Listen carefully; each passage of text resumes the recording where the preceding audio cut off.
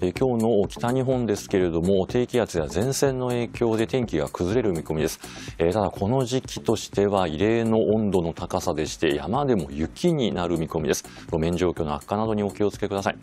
でその原因こちら3時の実況天気図見てみますと、えー、現在、えー、北海道の西の方に低気圧や前線がありましてこれが北東方向に進んでいく見込みです、えー、だんだんとこの後ろ側の寒冷前線が北日本の日本海側に接近をしてくる見込みでして、まあ、東北や北海道ではだんだんと雨の範囲が拡大をします。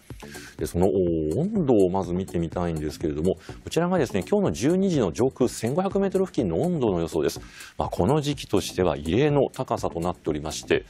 この辺りが1500メートル付近の3度のラインになります。えー、つまり1500メートルの山でも雨が降るぐらいの温度の高さとなっておりまして、まあ、平地はもちろん広く降るものとしては雨ということになります。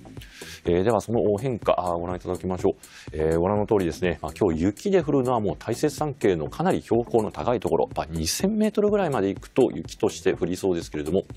まあ、それ以外はもう広く雨です。また東北地方も昼前後から、えー、北部日本海側から順次天気が崩れ始めます。えー、そして、まあ、夕方にかけて、まあ、広い範囲で天気が崩れるんですけども、だんだんと夜になりますと北海道では雨の範囲は縮小していく見込みです。まあ、ご覧の通り、まあ、夕方ぐらいになるとやむエリアも増えますので、まあ、外出の際には傘の置き忘れにも十分お気をつけください。えー、最新の気象情報についてはお天気アプリウェザーニュースでもご覧いただけます。